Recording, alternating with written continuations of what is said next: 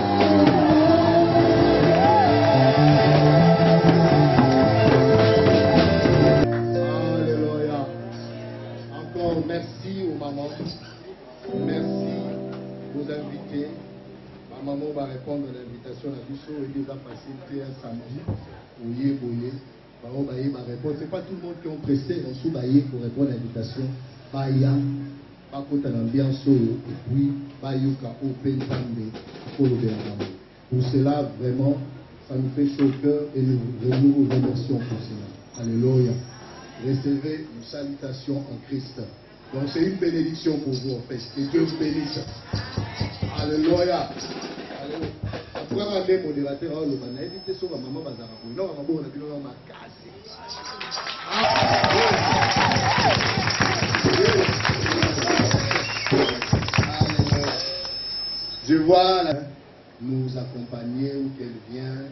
agremente na biso ba journée na biso ya celebration wana otelemi tobeteli yo maboko ple bamama montagne sainte mama responsable na bamama nyonso montagne sainte ya pasteur gervais qui est pour en brésil pour le moment au brésil pour le moment wana bamama so bokotelema biso pe to bayambaka nga bien na eglise na bango je crois que semaine elekaki tozali kuna toteyaki kuna c'est une église d'un frère ami et pasteur alors bamama ya montagne sainte bango oyo vraiment tokoki kofanda tobete esu nzambe mpe mbala moko na badepa na ye bango oyo nazopresente bino nga ntango nayaki na église nayaki sur le banc azali déjà responsable ya bamama na église oyo nazalaki Alléluia. Lelo amoni pe maman pasteur vraiment euh, maman Ange c'est mon CV il y a très longtemps si vous pouvez vous lever yo vraiment donc euh, maman tika inga na ba ou na l'église dit on a été ordonné comme pasteur alléluia comme je disais déjà maman responsable maman Kambi qui peut pas combien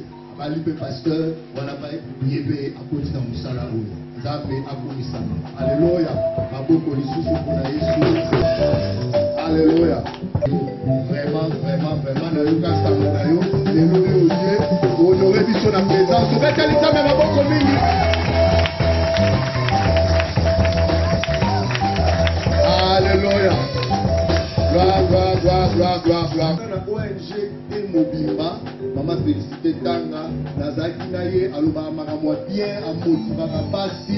ye antuka eza nde ye aza entrepreneur entrepreneur ye alukaka basi akosa bango na bombongo na makambo ebele c'est vrai c'est une maman inquiète dans les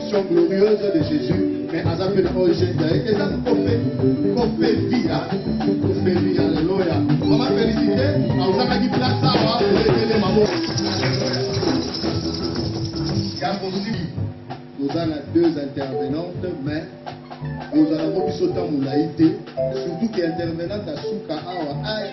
na sorte okende nayebi te so ezalaka mate ya adoration to louange. Alléluia. Vous comprenez quoi les raisons de banding wana. Amen. Na bandai na maman Gigi te parce que nayebi sœur Laetitia atika biso te maman Gigi mpe azalaka na biso nalingaki na mokolo ya lelo solennellement napesa bango attestation ya participation mpo eza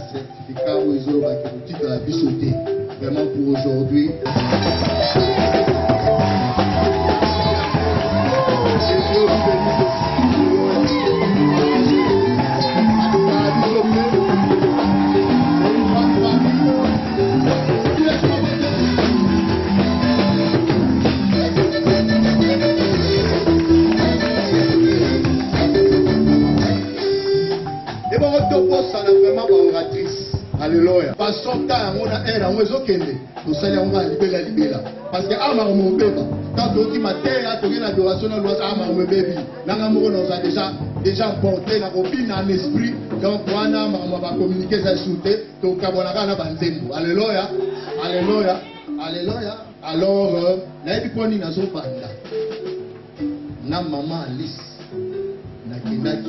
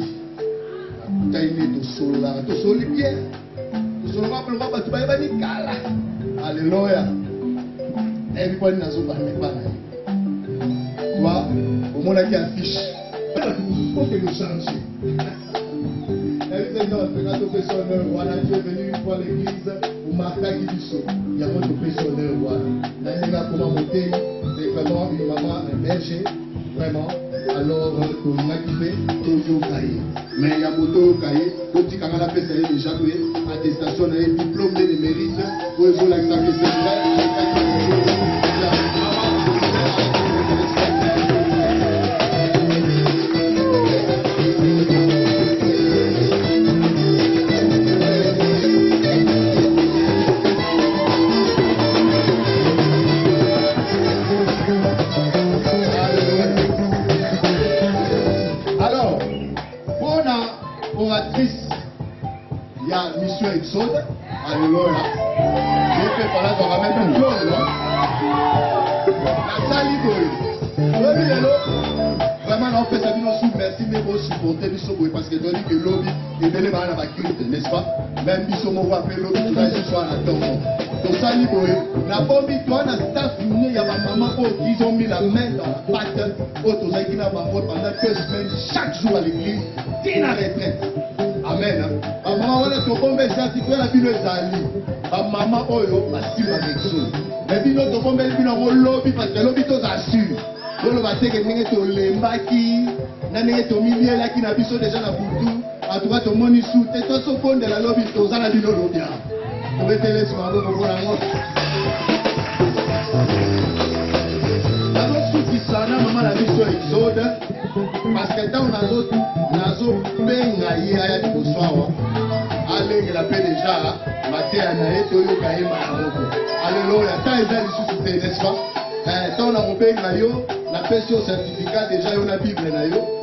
soki nzembo ekoba to olinga nanu mwa kantike kaka yo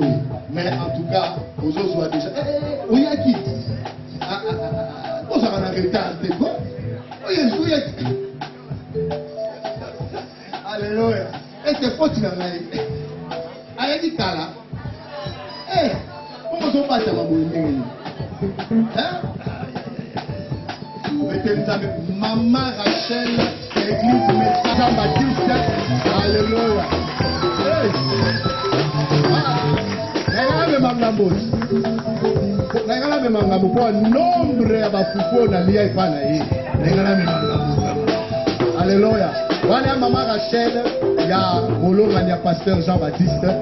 oyo ayaka mingi mingi kopambola biso awa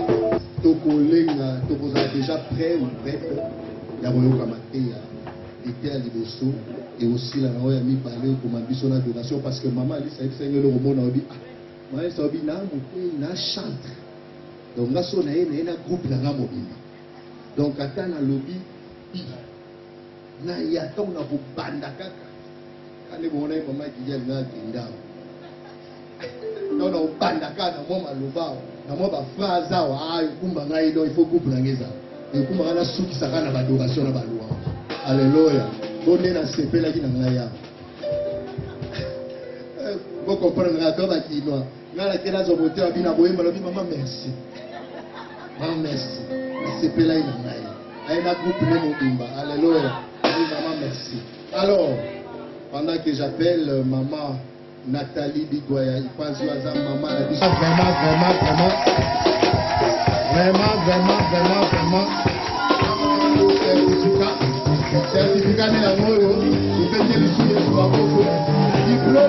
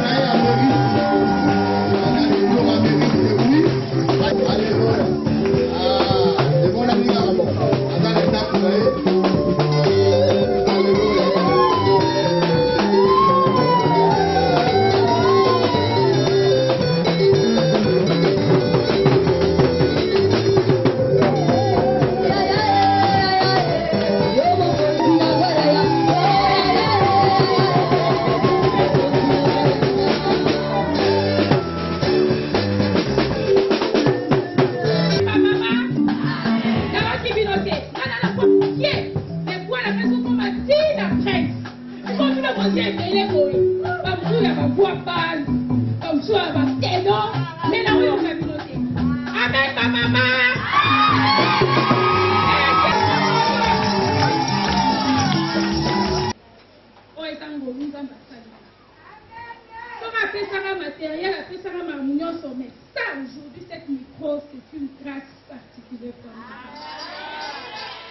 Je suis vraiment reconnaissant pour ça. Na nzambo, auti na nga mosika, alekisi nga ba makambo ebele, alekisi nga na ba vale ebele, mais lelo soki abaki succès un plus. Devant ba mama, ba maman na nga devant ba maman pasteur devant ba grande sœur devant ba tantine devant mes sœurs devant mes enfants nakumisi nzambe tobeteli ye maboko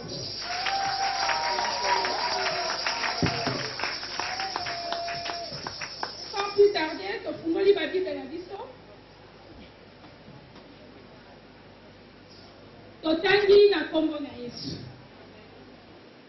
jésus une parole pour montrer qu'il faut toujours prier et ne pas se relâcher il dit il y avait dans une ville un juge qui ne craignait point Dieu et qui n'avait de garde pour personne. Il y avait aussi dans cette ville une veuve qui, venait lui dire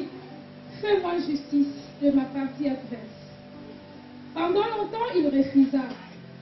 mais ensuite il dit à lui-même Quoique je ne crains point Dieu et que je n'ai de garde pour personne, néanmoins, parce que cette veuve m'importe, je lui ferai justice en fait que ne vienne pas sans cesse les rompre la tête. Le Seigneur ajouta, attendons ce que dit le juge unique.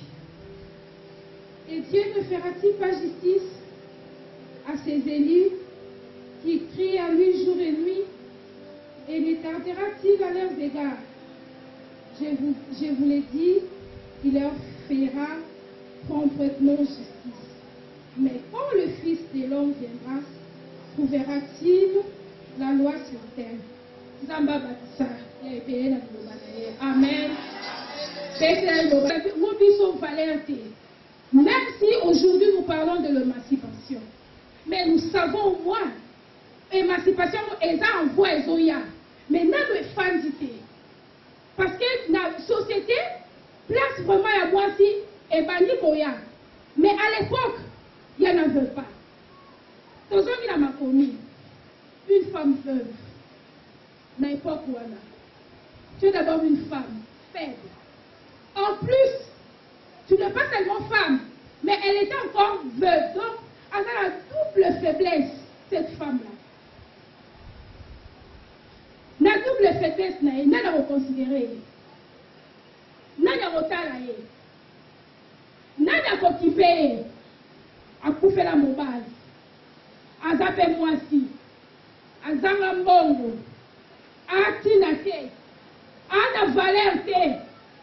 nani akotala mwasi veuve oyo bazua biloko ne nioso kenda elamba te meche te yo mama ofandi awa ye faiblesse ne parce que azalaki faible Oya yo parce que ba fingaka yo. Oya yo parce que otangaka otanga te. Oya yo parce que na quartier ofandi ba benga olumba. Ba benga mwasi atila te. Ba pesa ba caractère ndenge na ndenge oyo oh, moko fandi oza conscient oyebi. Kutu afandi alobi oui c'est moi. Caractère wana yanga. Bien aimé, tango tobandi otanga Bible, Yesu azo loba, apesi parabole oyo pour que to mona que na vie na biso il faut to sambelaka mikolo na mikolo. Yo maman oye lelo, osanganaka na biso te, oza na eglise mais okendaka, oza na esika nde osambelaka comme demain dimanche oke sambela. Tia na mutu que losambo na yo ya mikolo na mikolo.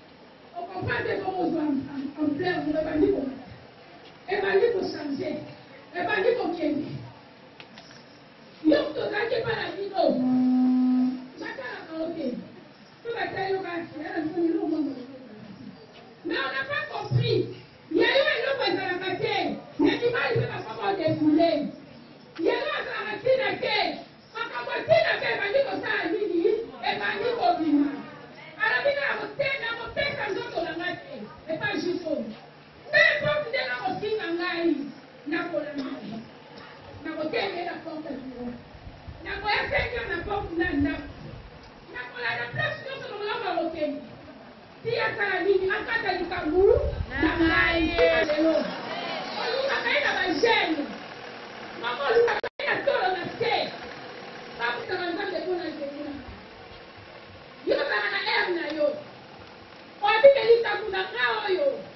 eza papa te likambu na nga oyo eza famille te likambu na nga oyo eza ba ndeko te likambu na nga oyo ezali solution ezo wuta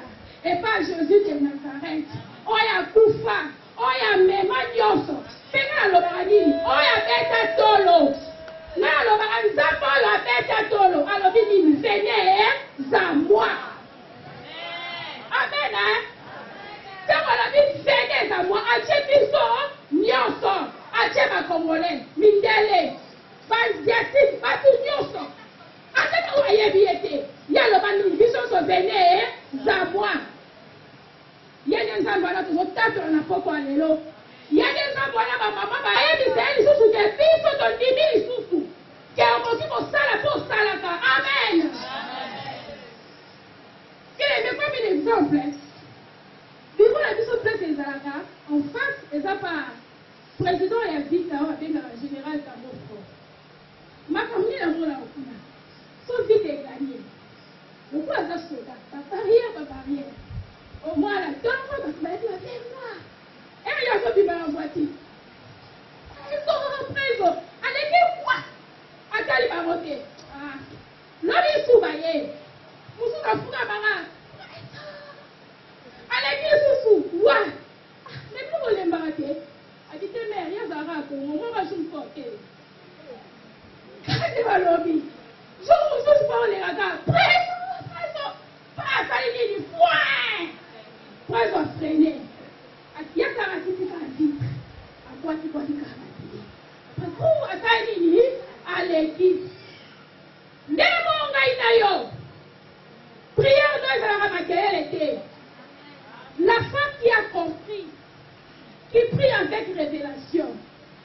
Ata ewumeli.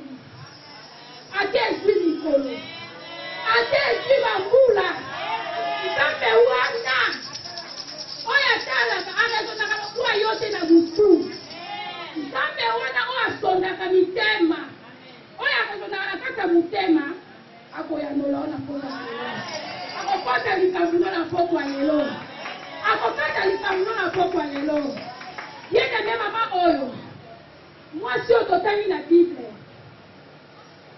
azali na esperance, azali na kondima na ye na ndenge na ye. Alobaki ke ata na bo opesa nzoto jujo malgre aza mal couche alobaka nde mabe mabe alobaka peu importe tout ça là Laban. Nga na yebi problème na ngai ako tranche yango pe nako zala mbolombi to bete yesu lisolo. Chite toza na tango mingi te pesa nga mateyo mateyo oyo oyokaka mua ngo mais na lingi obakisa pe un plus na oyo ebimi epa na nga nini toomona lelo qu'est ce que nous voyons maintenant là na mboka na biso surtout yo jeune fille ozwa na classe oyebi likambo naloba Yo okosi na ndaku ozui mais oyebi par quel canal owuti ozueli ba points na yo wana ofandi toyebi. Ne crois pas que tango ozopesa nga nzoto na yo heure nionso na ecole na institut mama na yo amoni te yaya na yo amoni te mais yebaka mutu moko asali nini alandaki yo ti na hotel wana heure olingo kokoli na yo Nzambe nzambe okoti mutu moko aza na ye te bamoni yo te me nzambe wana asali nini mama ofandi ya mwasi ya libala oyebi bambongo mosusu olambelaka bana place ezotombama te mais bien aime na pokwa lelo ton dieu ne te demande pas d'acheter il te demande pas de donner mais il a dit dispose ton cœur Ce soir il est là parmi nous alobi ofungoli motema atalisi ye lolenge azali atalisi ye faso na ye kotapesa ngai nazwa conscience makasi ozopesa ngai na nsima eta na ngai na bongwana abi nzambe epesanga makasi nakobaka kosala elo te nasala elo sikoyo ya solo nzambe wana akomona likambo na yo nabetelo lisolo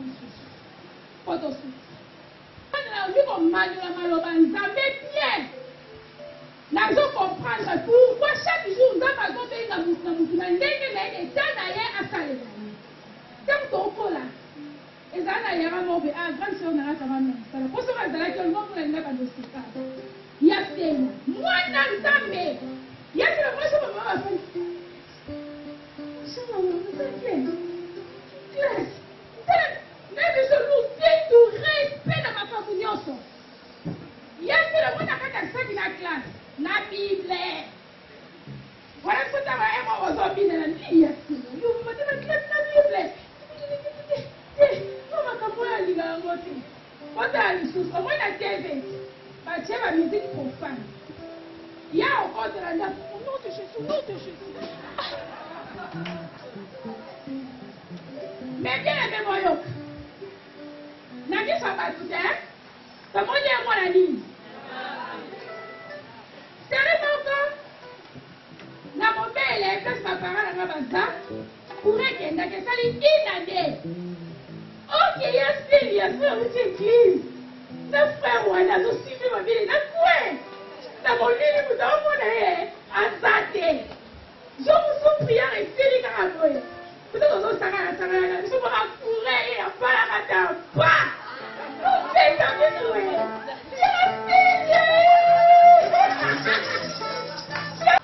Ce soir il est là parmi nous alobi afungoli motema atalisi ye lolenge azali atalisi ye faso na ye kotapesa ngai nazwa conscience makasi ozopesa ngai na nsima eta na ngai na bongwana abi nzambe epesanga makasi nakobaka kosala elo te nasala elo sikoyo ya solo nzambe wana akomona likambo na yo nabetelo lisolo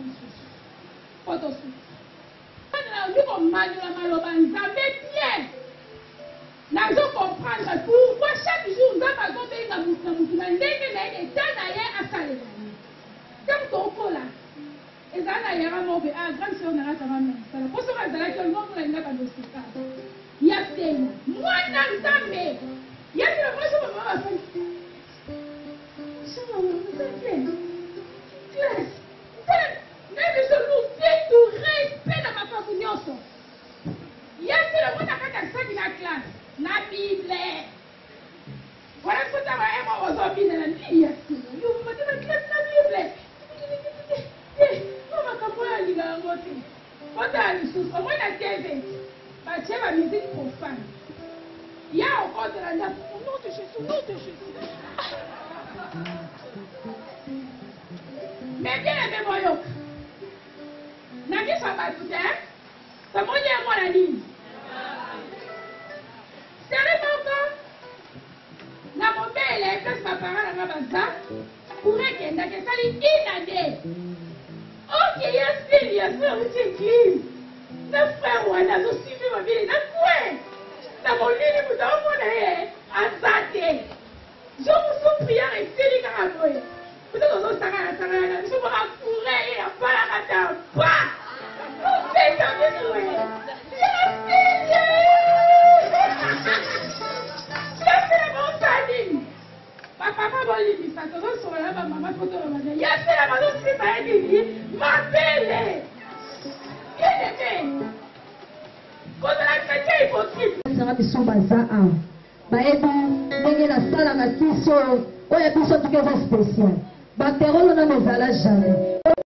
Fonction na ngo nazalaki chomeur eloko te mama bana mobali na nga abeli maladi oyebi ka nde aka brusquement mosala eza te obanda kosuka wapi ye moto abanda okipe yo ntango bapesi biso kaka na atelier jour ka bapesaki biso kosala bacterole oyo antuka epambolaki ngai nakoma mpo otya ofrande mwa dimi na ngai mpe ezanga te nde mpe na ngali boye naza mabe kaka na mbongo ya bacterole okometela nzambe